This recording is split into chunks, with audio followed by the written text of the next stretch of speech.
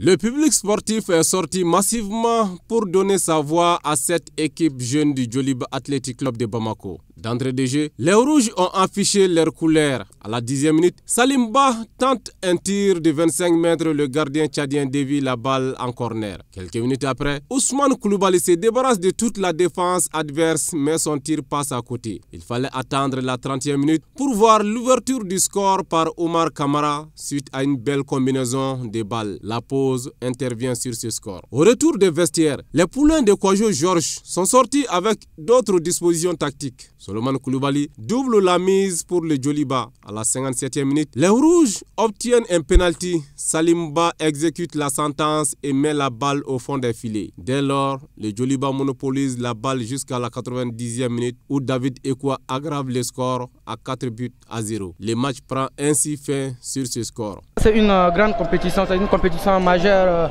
euh, euh, de l'Afrique. Donc, y a bon, certes, nous, on est vraiment jeunes, mais le football n'a pas d'âge. Si tu es fort, tu es fort. Si tu n'es pas fort, ça va. Aujourd'hui, Joliba était au-dessus. Quoi. Donc, félicitations à Joliba. Et puis, nous, on doit travailler pour rehausser le niveau. Quoi. Ah, mais euh, Joliba, c'est une équipe, euh, ils ont un bon caractère. Et mes gars, c'est notre deuxième expérience. Et on a trouvé une équipe euh, très costaud devant nous. Non, c'est vrai que Joliba, c'est une grande équipe. Ils sont plus meilleurs que nous, c'est tout. On doit reconnaître qu'ils sont meilleurs plus que nous, c'est tout. C'est un pays qui est bien organisé. Et je tire chapeau à Mali. Un sentiment de joie, de satisfaction. Comme tous les Maliens aujourd'hui, le Grand Mali, tout le monde attendait cette rencontre. Non seulement nous avons gagné, nous avons gagné avec la manière et le score. Je dis merci à tous les dirigeants, à tous ces jeunes gens qui se sont battus cet après-midi et à tous les supporters qui sont sortis nombreux comme un seul homme pour soutenir, pour devenir le 12e homme. Merci à tout le Mali. Nous sommes tous très contents. C'est ça le Mali. Nous l'avons toujours dit et souhaité.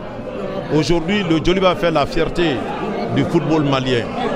Euh, vous avez vu dans quelles difficultés euh, ce club s'est battu avec un championnat qui était à mi-temps, qui vient juste de démarrer. Et que le Joliba se retrouve dans la phase de poule aujourd'hui avec une telle qualification, vraiment est un boom pour le football malien. Nous voulons qu'ensemble, nous nous mettons ensemble dans l'unité d'action, soutenir le Joliba pour que le football malien retrouve ses lettres de noblesse d'antan. Cette qualification permet au Joliba AC de jouer pour la quatrième fois la phase finale de la Coupe CAF.